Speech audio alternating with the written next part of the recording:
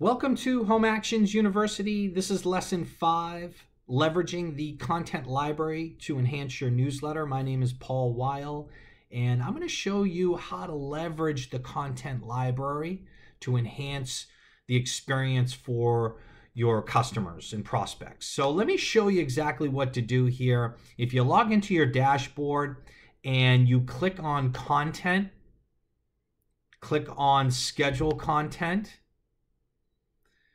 this will show you the next newsletter that's going out on June 7th here. You can see all of the articles. Now, if I don't like one of the articles, I can just click a button and remove it. I can preview that article right here. And like I said, if you didn't like it, you can click remove and that's gone. The other thing to keep in mind is if you want to switch around the articles, you just drag and drop. And we can put these articles in any order that we want here. Okay. But I want to show you the content library. If you click content library, we have over 2,000 plus articles that are available to you. If you click on category, you can see we have all this content, retirement, selling, adult community, distressed property content, luxury. So let's say I'm interested in retirement content. I click retirement and all the articles will pop up here and you can page through. Let's say I wanted to post this one. Is this your situation thinking about downsizing after you retire? Okay, it's in the first, second, third, fourth spot. Well, let's keep it in the first spot. I'll click schedule and that article is scheduled right to your newsletter. And I can preview it here.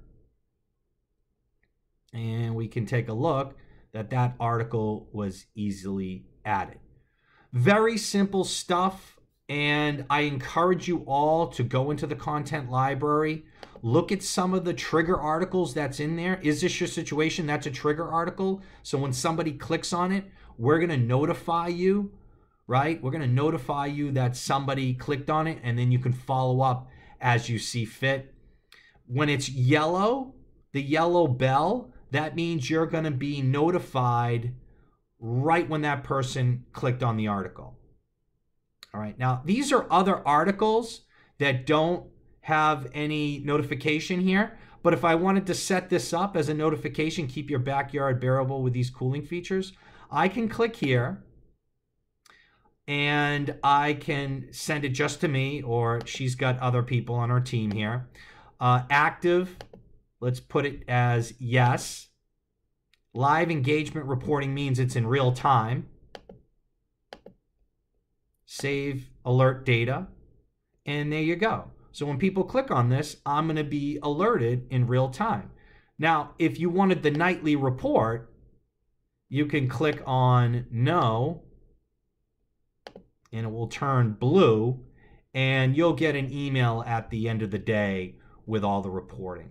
So I encourage you all go into the content library. There's so much stuff in here that you can leverage. Here's some luxury content, right? What to know before you buy a chandelier. Okay, I like that. I click schedule.